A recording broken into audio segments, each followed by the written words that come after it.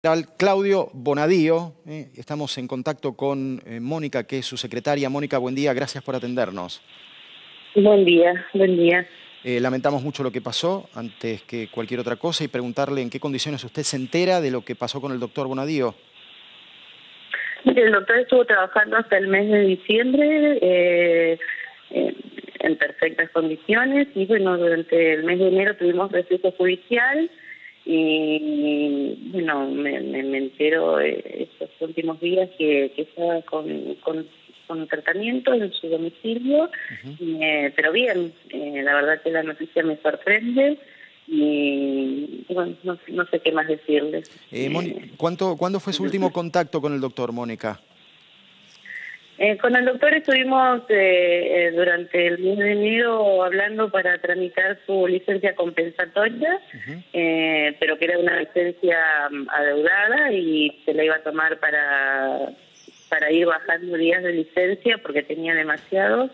En que últimos años el doctor ha trabajado mucho sin tomarse licencias y bueno, la verdad que se lo escuchaba bien, perfecto. ¿Esta, esta licencia puede estar asociada a este proceso de salud por lo que estaba pasando?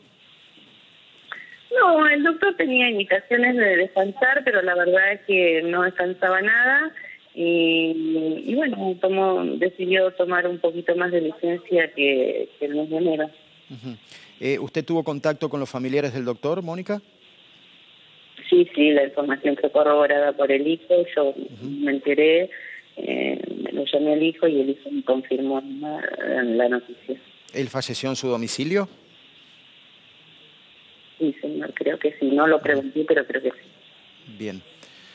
Eh, Mónica, muchas, muchas gracias. Él, él tenía previsto, eh, de todas maneras, volver a trabajar, pero sí había pedido una, una, una extensión. En el mes de marzo, supuestamente, iba a volver a, a los tribunales. Sí, perfectamente, en el mes de marzo. Además, aunque el doctor estudia de licencia, siempre estaba trabajando, así que eh, el juzgado trabajaba y siempre era de, de consumo constante. Así que, sí, sí. Sí, el, doctor era muy dedicado a su trabajo, así que estos últimos años le dedicó mucho a su trabajo y descansó poco. ¿Su recuerdo personal del doctor Bonadío, después de haber compartido mucho tiempo de trabajo con él? Sí, 20 años de secretaria y 30 de conocerlo. Una persona especial, eh, exigente y dedicada. Mónica, muchísimas gracias por su testimonio. No tiene que tenga un eh, Mónica era su secretaria, ya lo acaba de escribir, más de 20 años trabajando eh, con él. Eh, confirmó la noticia a uno de sus hijos. se presume que falleció en su domicilio.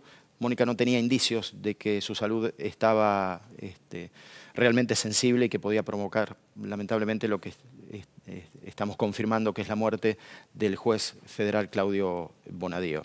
Vamos a seguir ampliando este tema, ya son las 9 de la mañana, los títulos de este buen martes.